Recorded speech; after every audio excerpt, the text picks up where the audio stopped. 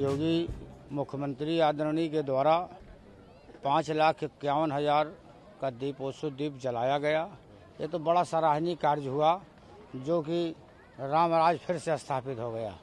जैसे चौदह वर्ष के बाद वनवास से वापस राम आए, एक समय था त्रेता युग में कि अयोध्यावासी घी के दीपक जलाए थे।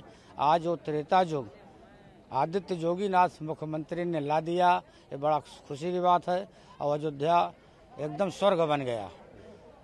ये कल दीपोत्सव था। आवाज़ की जो आप देख रहे हैं कि आज इनके कार्य क्षेत्र में जितनी साफ़ सफ़ाई हो रही है, इतना अयोध्या सुंदर लग रहा है कि वर्ण करने योग्य ही नहीं है।